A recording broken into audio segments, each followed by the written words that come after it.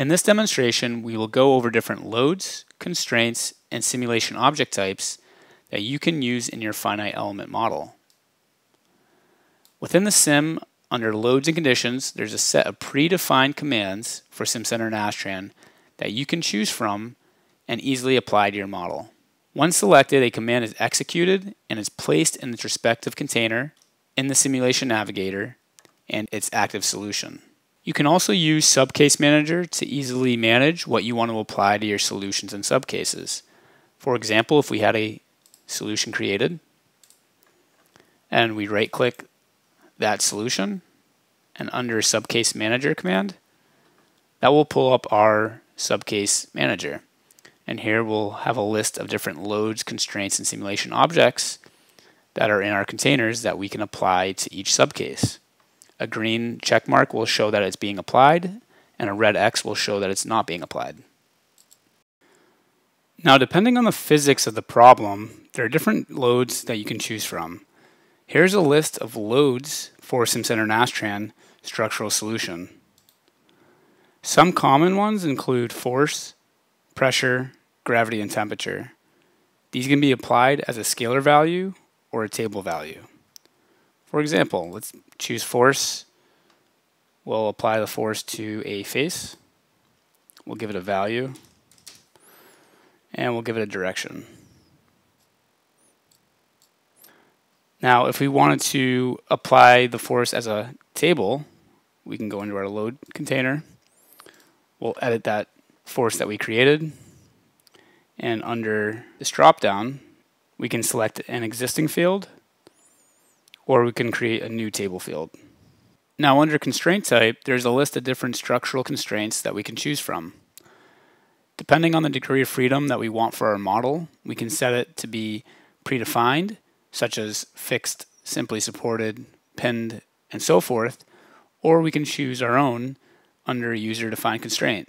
If we choose user-defined constraint, there's a set of six degrees of freedom that we can choose to have free, fixed, or a set displacement.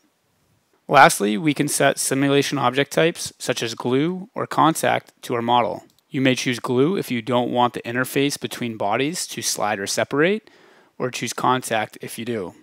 So now let's get into a quick example. Here we're going to go ahead and create a new solution. We'll give it a name. And the solver is going to be SimCenter Nastran. It's going to be a structural solution and a linear statics type. If we were to change it to, a, say, a thermal or acoustic, rotor dynamics, or aeroelastic analysis, our loads and conditions will update accordingly. So here we'll, we'll stick with the structural solution, and now we can see that active solution in our simulation navigator. So first, let's go ahead and apply a gravity load, and we're going to apply that to the whole model. We'll apply it in terms of G's, and we'll say 10, and we'll give it a direction. Here we'll do the minus Y direction. If we zoom out a little bit, we can see that arrow representation of the gravity load.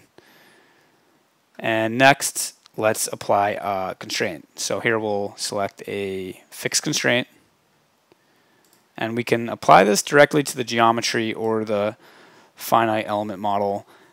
Um, I typically like to apply it to the geometry. That way my model stays associative in case I make any CAD changes. So we'll go ahead and apply that. Next, we'll create some simulation object types. Here we'll do a surface to surface glue condition.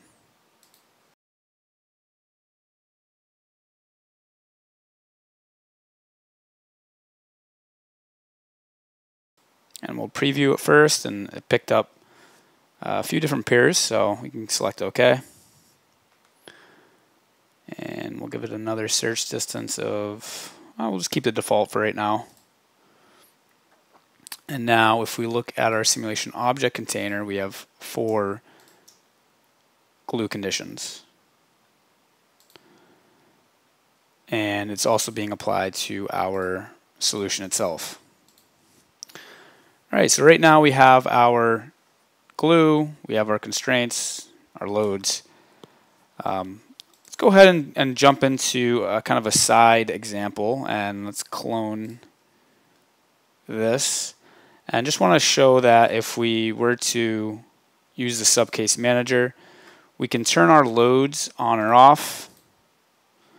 Uh, we can do the same for our constraints or simulation objects. So if I didn't want a specific glue or, or contact to be on during this subcase, I can uh, turn it on or off this way. And this really helps manage those solutions with a ton of subcases or uh, many different boundary conditions. So I'm going to delete this solution I created and now let's go ahead and solve the model.